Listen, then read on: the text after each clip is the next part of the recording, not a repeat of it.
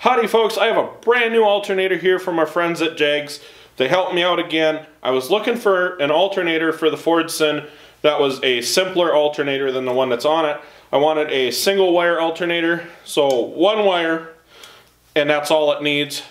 Um, this alternator will start charging at 700 RPM, which was something that was important to me. It was a low RPM starting, and it is also that single wire design. So there is one wire and that wire goes to the tractor's wire harness to the battery like the original generator did.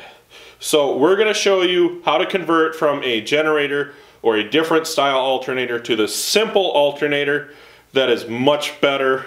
Uh, Alrighty folks, this is pretty simple and straightforward. All you do is you take your old alternator or generator off, Make sure that you disconnect the battery first so that you don't have any arcing or shorting.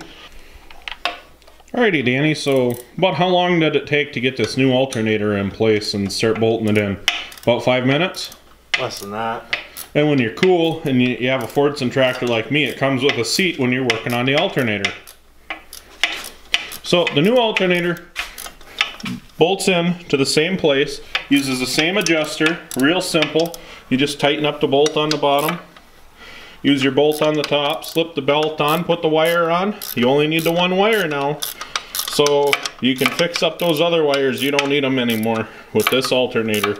Alrighty folks, so now we have the alternator put in and the single wire on the back is all you need for this alternator. I'll leave a link in the description below on where you can get your own alternator at jegs.com.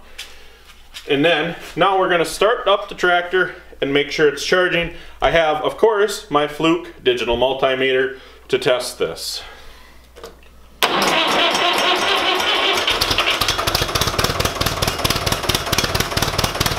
guess I never did mention that's a smoky old Volt start.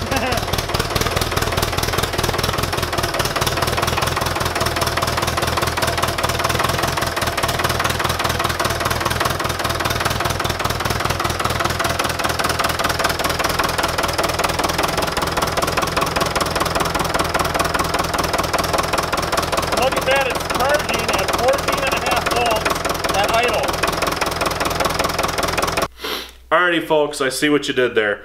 I was all tired here working on the tractor. You got me to do a cold start. That's fine. Good for you guys. Glad you got that out of me. Now, we got this new one-wire alternator from Jegs. They sponsored the video.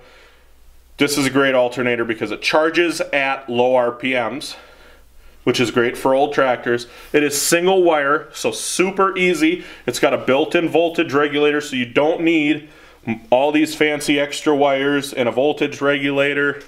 You get to cut all of that out now. You get a system that is simple and reliable. As you've seen on my nice fluke meter, 14 and a half volts. I just started the tractor.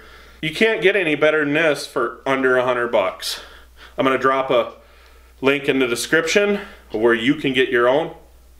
We really appreciate Jegs for sponsoring the video. So thanks for watching. Please comment, rate, and subscribe. We'll see you in the next one.